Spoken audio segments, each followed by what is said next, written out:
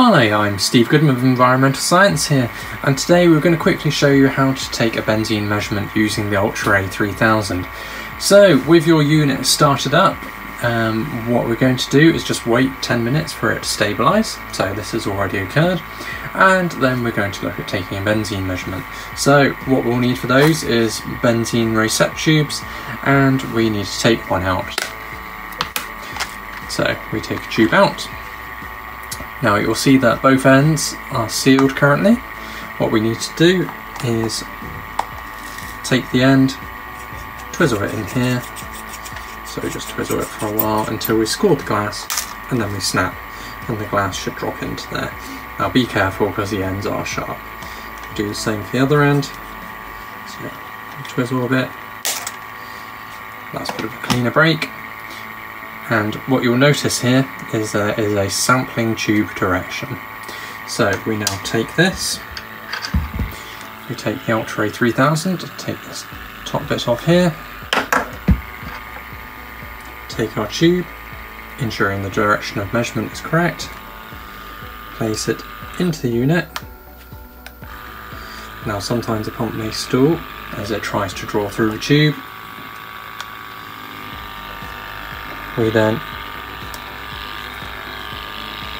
screw everything back up.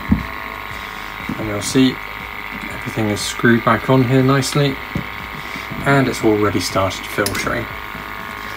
So we now take our unit, so if I zoom in a bit for you here, and we scroll across and it says tube benzene start sampling, I say yes, and now it would take a 60 second sample.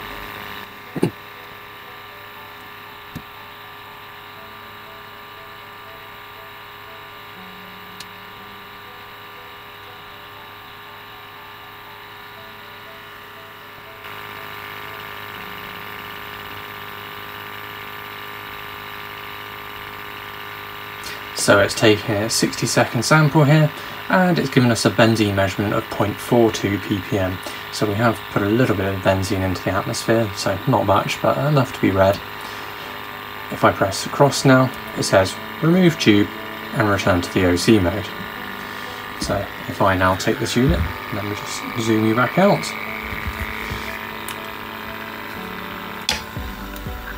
I remove the tube, and what you'll see here is the tube has started changing from orange to yellow and you'll see this, let me just focus you in there, just here.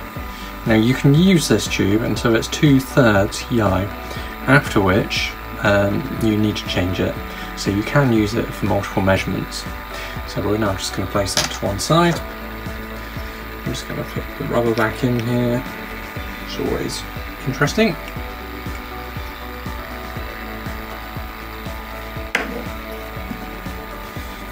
So rubber's back in there. Replace the head. Just focus you again. And we say go back to